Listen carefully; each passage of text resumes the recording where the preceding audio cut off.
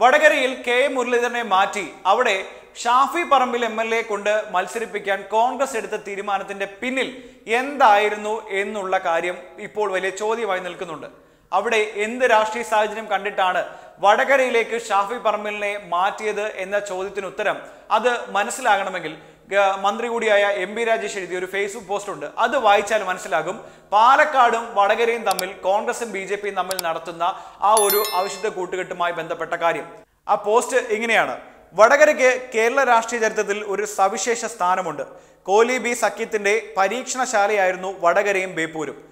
തൊണ്ണൂറ്റി ഒന്നിലെ തെരഞ്ഞെടുപ്പിലാണ് വടകര പാർലമെന്റ് മണ്ഡലത്തിൽ കോലി ബി സഖ്യത്തിന്റെ പൊതു സ്വതന്ത്ര സ്ഥാനാർത്ഥിയായ advocate Ragna Singh N D F സ്ഥാനാർത്ഥിയായി കെ പി ഉണ്ണികൃഷ്ണനെതിരെയും ബേപ്പൂരിൽ ഡോക്ടർ മാധവൻകുട്ടി സഖാവ് ടി കെ ഹംസയ്ക്കെതിരെയും മത്സരിച്ചത്.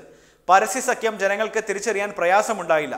രണ്ടിടത്തും കോലി ബി സഖ്യത്തെ ജനങ്ങൾ തകർത്തരിപ്പണമാക്കി ഇപ്പോൾ വടകര വീണ്ടും കോൺഗ്രസ് ബി പാക്കേജിന്റെ പരീക്ഷണശാലയാവുകയാണ്.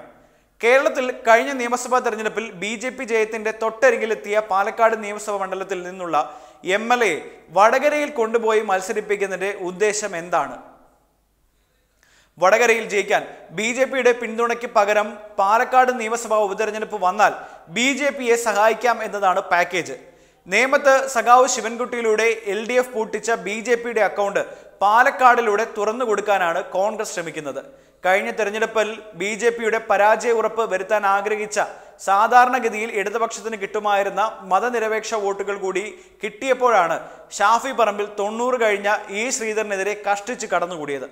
ആ സീറ്റിലെ എം എൽ എ ആണ് വേണമെങ്കിൽ ഒരു ഉപതെരഞ്ഞെടുപ്പ് സാധ്യതയിലേക്ക് വിട്ടുകൊടുത്ത് കൊണ്ട് കോൺഗ്രസ് മത്സരിപ്പിക്കുന്നത്. ബി ജെ പിക്ക് വടകര പാർലമെന്റ് സീറ്റിൽ ഒരു സാധ്യതയുമില്ല ഇല്ല എന്ന് എല്ലാവർക്കും അറിയാം.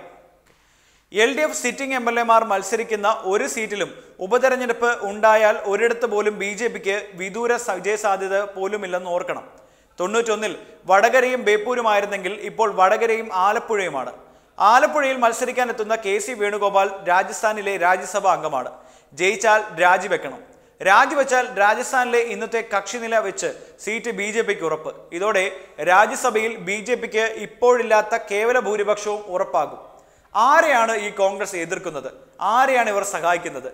ഇനിയും മനസ്സിലാകാത്തവർ അത്രയും നിഷ്കളങ്കരായിരിക്കണം.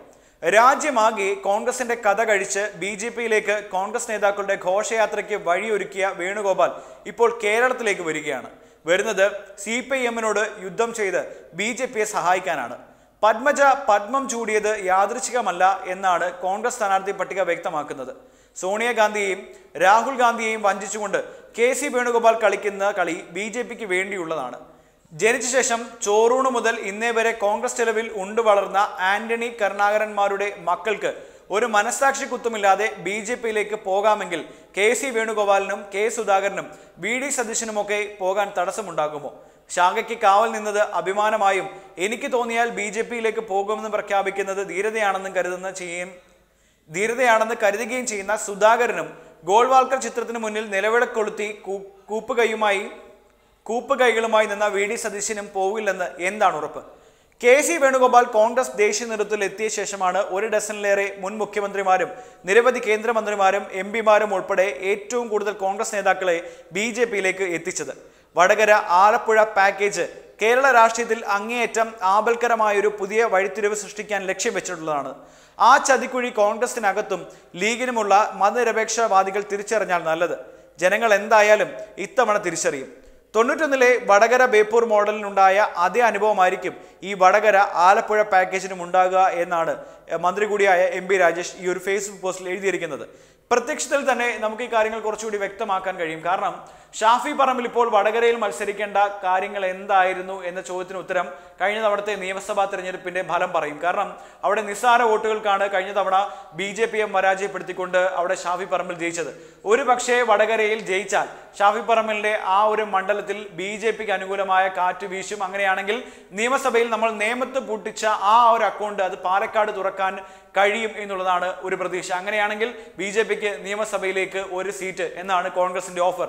ഇനി പാലക്കാടേക്ക് പോവുകയാണെങ്കിൽ പാലക്കാട് കെ സി വേണുഗോപാൽ മത്സരിക്കുമെന്ന കാര്യം തീരുമാനമായിരിക്കുന്നു അദ്ദേഹത്തിന്റെ ഇനി നമ്മൾ ആലപ്പുഴയിലേക്ക് വരികയാണെങ്കിൽ ആലപ്പുഴയിൽ കെ സി വേണുഗോപാലാണ് മത്സരിക്കുന്നത്.